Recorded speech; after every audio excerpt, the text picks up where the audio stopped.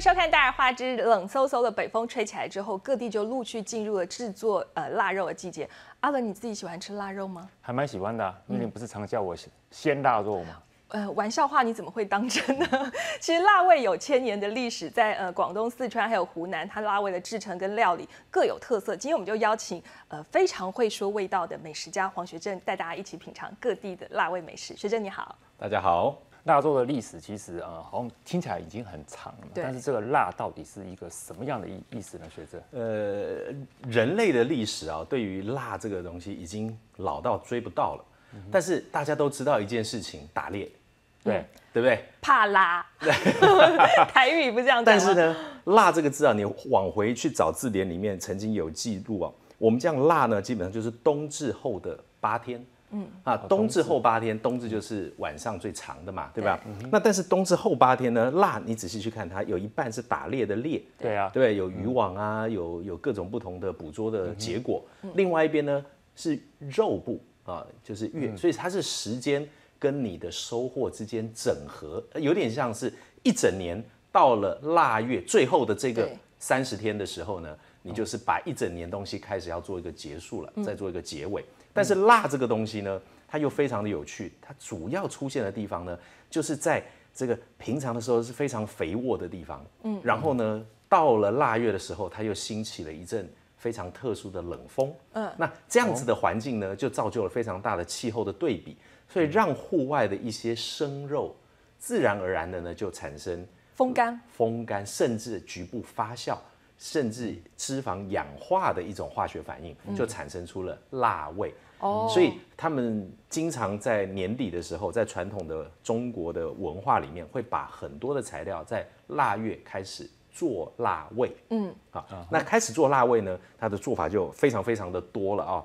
那呃，以湖南而言，刚刚讲到湖南，对，那湖南这地方它也是一个多神的地方。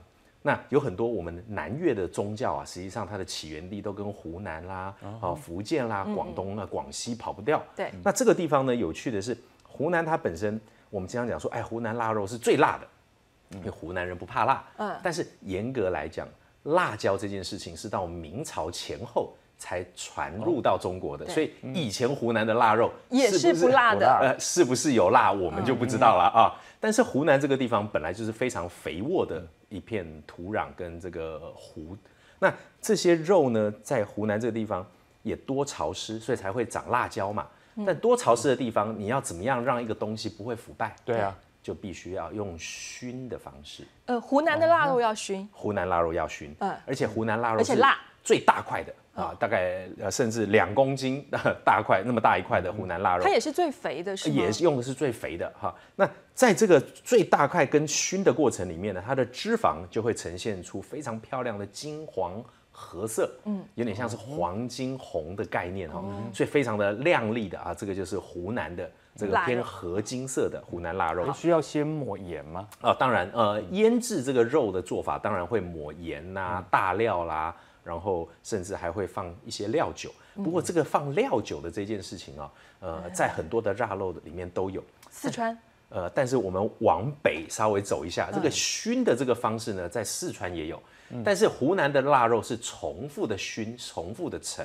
对。但是呢，在四川做腊肉的方式呢，就非常的有四川特色了。四川产很多的花椒。对啊。对。四川还产什么自贡产盐，盐，所以他们把盐盐。花椒、花椒籽、花椒末，甚至花椒叶，嗯，下去拌，跟盐下去炒，炒完了之后呢，把生肉啊，这个洗干净之后，把它表面的水弄完了之后，接着就放到盐里面下去裹，来来回回做到六到八天，它的水都出光了之后，对，出水。出光之后呢，它呢就会把它挂在这个厨房的梁上面，让这个点灶火的时候呢，那个烟呢，慢慢的自然的风干，哦，跟这个湖南人呢。特别用木头砸的这个果壳这些东西下去熏出烟来啊，很明显可以看到这个环境的湿度的不同。哎，那这样子四川人吃的就应该就是陈辣了，因为它如果要慢慢熏、慢慢熏的话，但是湖南跟四川都有吃陈辣的概念啊。那但是以熏的程度来讲呢，湖南腊肉呢它是比较重熏的，但是在四川呢它就是有点接近自然风干，它熏的过程是。有熏到没熏到无所谓，只是一个定色而已。嗯，那只是让这个有一点点碳的味道哈，在表面为什么稍微熏过哈，就像杀菌一样，那个碳呢会产生非常细的颗粒，会吸水，也会让这个细菌呢没有办法待在上面。那你这个东西呢，就看到湖南跟这个四川中间的这个地方叫贵州，贵州就很有趣了。贵州他们的腊肉呢，就是也是有熏的，但是他们也有没有熏的腊肉。啊，就是用风干的逻辑去做了，哦，所以你会看到贵州就刚好介于湖南跟四川之间，所以四川腊肉某种程度它是风干型的腊肉，嗯，但是以花椒、香料、页岩为主的东西。好，这两个地方的另外一个三角形的另外一个顶点呢？就是我们大家熟悉的广东省。的，哎，讲广东之前啊，因为你讲那么多，我觉得大家听的口水都要流下来了。那 反正对于腊肉的料理，大家印象最深刻的、最简单，家里都会做，就要炒腊肉。是，对，我们就要带大家去呃尝一尝大陆各地的炒腊肉到底是怎么个炒法。我们回来再继续聊。腊肉食用前，要先用炭火烧皮，然后用淘米水洗净。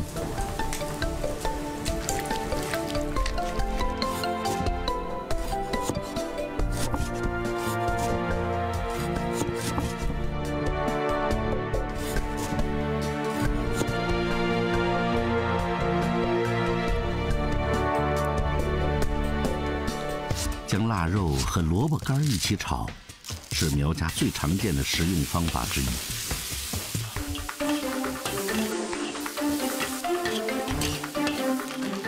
严姨的话，吃饭很多，文火、油煎，必须要火小。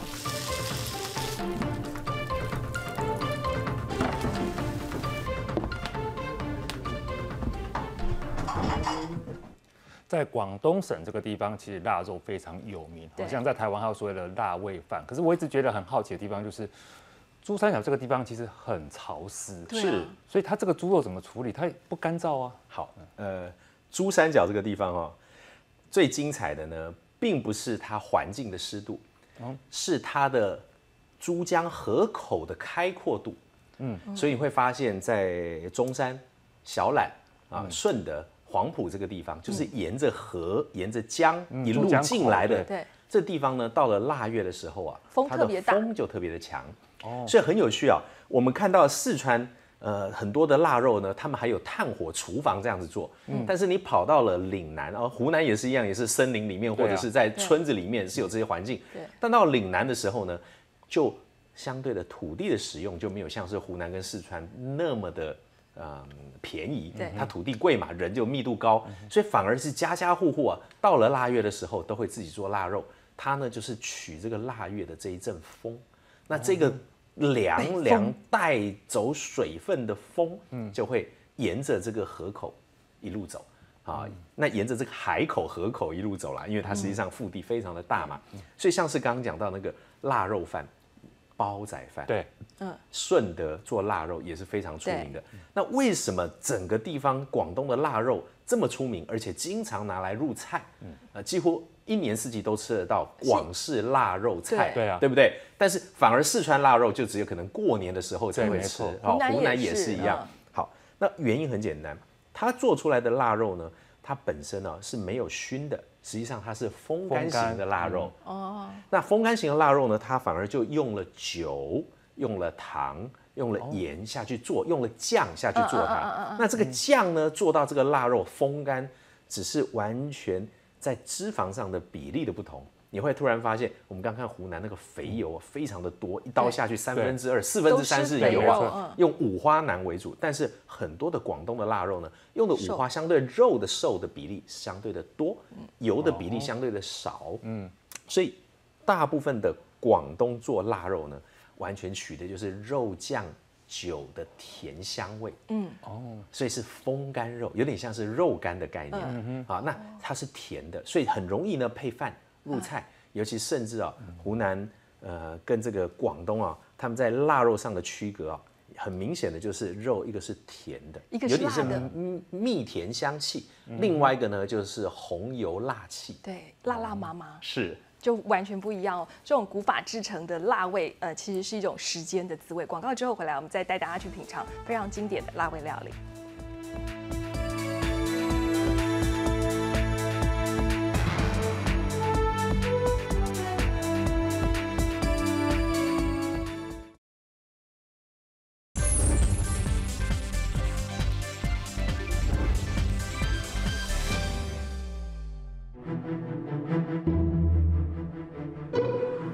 南方的天气和水土都和北方大不相同，因此南方人储存食物的方法以及他们所迷恋的滋味，也和北方迥然相异。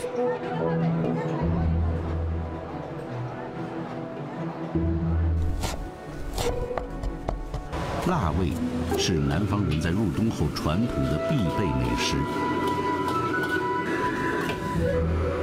制造腊味的初衷，是为了能在南方的湿热天气里，更好地储存那些容易腐败变质的新鲜肉类。如今，腊味既能成为家常小菜，也能登大雅之堂。正宗的煲仔饭，最好是用收获后三至九个月的半新米，还必须用瓦煲来做盛器，生米煮，猛火烧，煲熟后再转到炭炉上慢慢烘。让藏在辣味里的肉汁完全渗入米饭，温暖香糯的煲仔饭，一直是最适合冬天的美味。我们刚刚看这个画面哈，就是这种我们的这种腊肉，对，煲仔饭，特别是它那个香味进到这个米呃米饭里面，在蒸，把它味道蒸出来。那么我们刚刚还有一个好像没有聊，就是那个曲辣。哦，曲辣，曲辣是非常有趣，而且非常弯曲的曲嘛。对，弯曲的曲。那这个实际上是广东啊，他们用刚刚讲到了传统，我们看到广东的这个腊肉的比例跟油的比例，实际上不像是湖南的那么重。对。但是呢，肉还是有三层肉，肥肉。嗯。那肥肉的比例较高的时候呢，它整条放在竹杆子上面晾，晾的时候呢，肉呢就会垮下去。哦，就像是一条蛇一样，好，就变成像是弯弯曲曲的腊肉，而不是直的腊肉。那为什么我觉得曲辣好吃？但曲辣现在在广东吃到的机会也不多了。那有一些乡村会做，但是好吃的原因呢，是因为。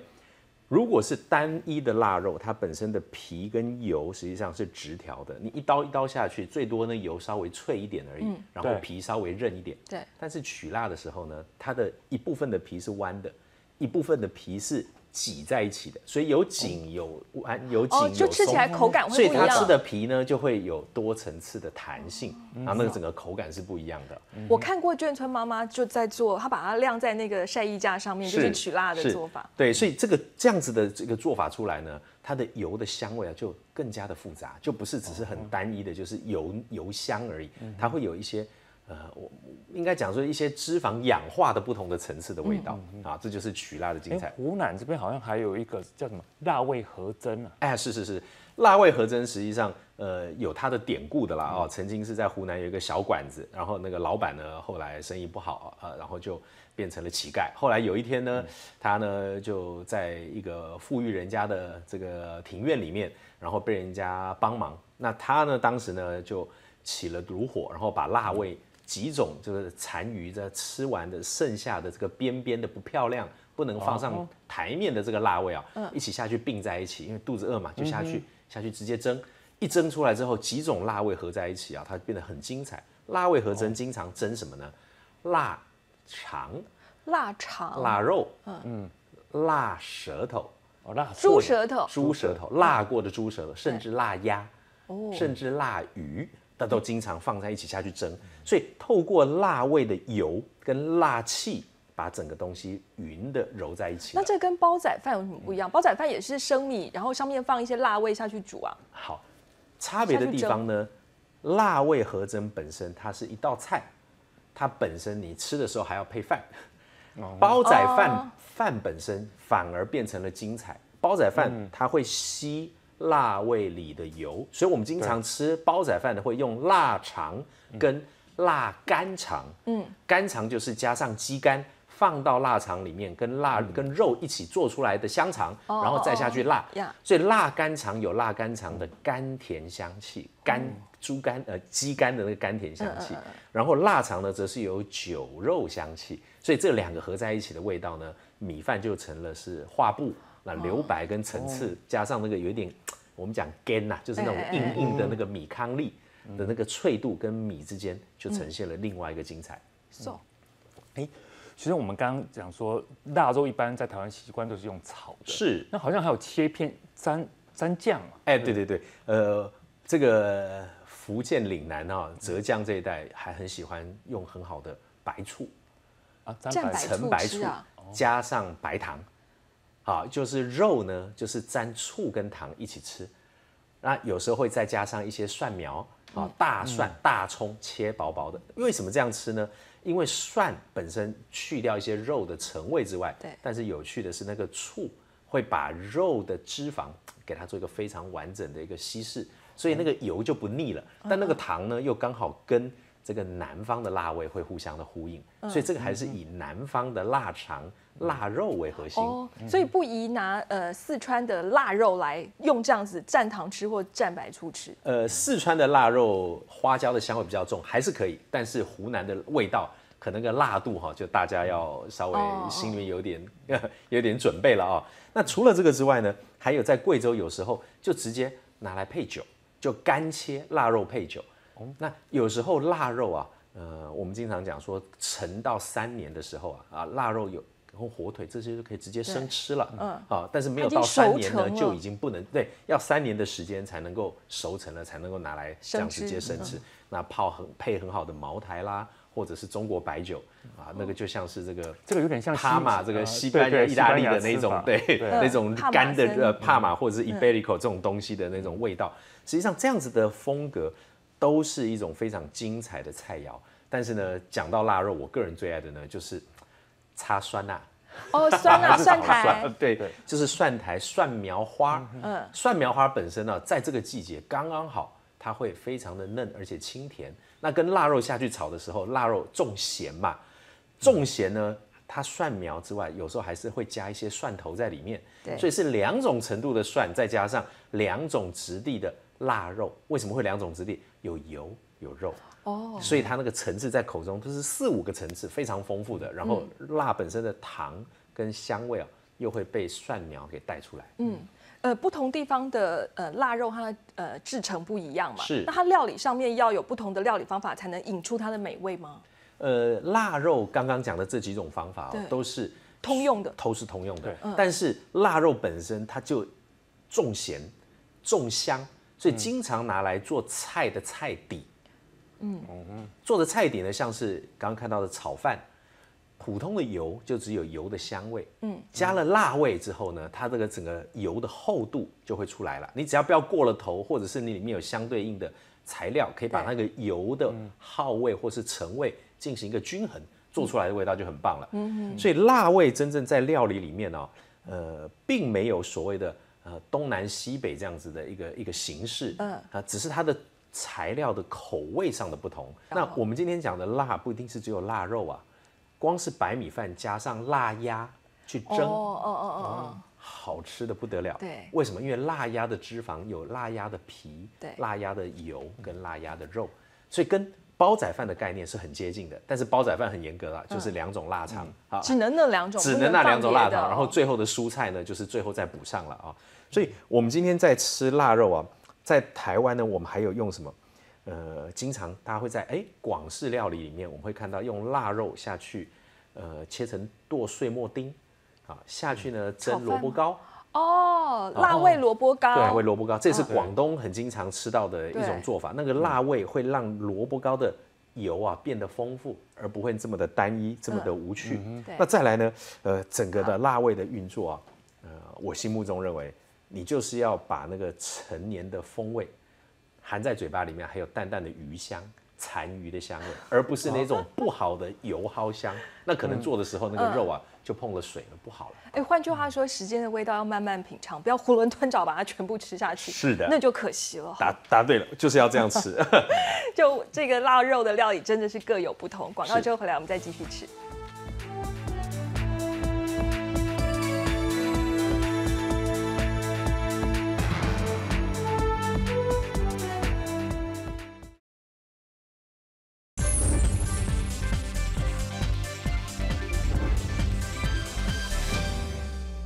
腊肉是过去在没有冰箱的时代的呃一种产物，没有想到也能变成呃另外一种美味。除了猪肉之外，其实好多食材都可以做成辣味。网友就问了，他说鸭掌跟金华火腿也算腊肉吗？学正，呃，算吗？严格来说，腊月做的东西才叫腊肉，或叫腊味。啊，因为这是时间给的一个特色。对，嗯，呃，但是现在鸭赏跟金华火腿开始商业性运作，而且金华火腿实际上几乎一年四季都在做啊。嗯，那当然他们还是有非常好的季节取春后秋后的东西来做，但是严格来说，腊味就是要腊月开始做的东西。但是鸭赏也好，或者是呃我们讲的金华火腿也好，甚至说云南的宣威火腿。甚至说，我们讲到腊排骨啊，我们之前有聊到非常特殊的腊鸭，对。啊，呃，腊鱼，腊鱼，湖南的腊鱼，这些材料呢，它的辣味的形式啊，在所有的味道里面都跑不掉盐，因为防腐嘛。对，再来就是脂肪成熟的成味，嗯，最后一个呢，就刚刚刚讲到了。这个广东的这个有甜的味道，嗯，刚刚讲到这个鸭赏用甘蔗下去也是有熏的味道，所以是甘蔗的甜香气，对不对？然后你今天去看湖南的是脂肪产生出来的甜香气，那湖南的腊肉呢？它实际上有时候他们还会把一些柑橘啊，或者是一些呃不同的这种果核类的皮或者是材料丢进去一起下去熏，或者是创造出一种味道。实际上花椒里面呢，你直接吃，你是可以吃得到柠檬香气的。哦。那所以这样子的一个组合，你会发现呢，柠檬都可以让脂肪的味道下降，熏蒸可以让脂肪的油腻度修饰修饰，糖可以让脂肪的油腻度变得更顺口。嗯，然后中间呢再搭配各种不同的新香料，或是有酸度的，像醋啦，或者是像蒜苔啦、新香料啦，或者是米饭啦，就是稀释。这么重的盐跟肉的层味，所以你只要抓到这几个原则，那当然啦，不管是炒萝卜干也好，嗯，炒各种不同的蔬菜也好，甚至是完全是拿来做辣味饭，对，呃，照着这个角度来做就没错了。哎，学生，如果我们想学像老外这样，是。你们吃火腿，那我们就吃这个腊肉切片。配酒，那要配什么酒？呃，我们如果看意大利的腊肠萨拉米，嗯，好，不管用纯黑小猪肉，或者是呃，这个牛肉跟猪肉合在一起的，或者是呃我们讲的风干形式的腊肠，嗯，他们有几个原则，我们要用腊肉来做是可以，一要切的非常的薄，嗯。啊，第二个熟成的时间刚刚三年三年嘛，三年。以上，非常的薄，加上这个，因为中国人的腊肉下了糖跟酒在里面的形式，我会建议配白酒，那如果配红酒的话呢，呃，它本身的那个脂肪。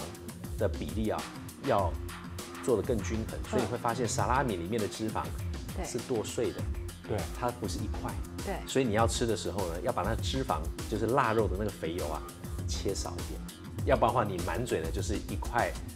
咬不掉、凝不了、溶不了的油丁，配红酒那就很奇怪了。所以如果要配红酒的话，那个油就要小小的，肉要多一点。那白酒您指的是白葡萄酒，还是指我们讲白干白酒？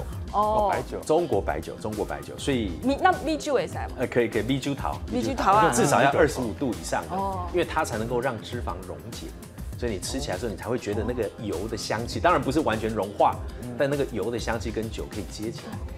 鼻腔呢就串有辣的成气，这样就很他们才可以融在一起。对，这个大陆各省的腊肉风味都不一样，那代表着我们老祖先因地制宜选用食材的生活智慧。嗯，辣味不管有多美味，大家都不要吃太多。就非常谢谢雪正，谢谢您的收看，明天继续大有汉志。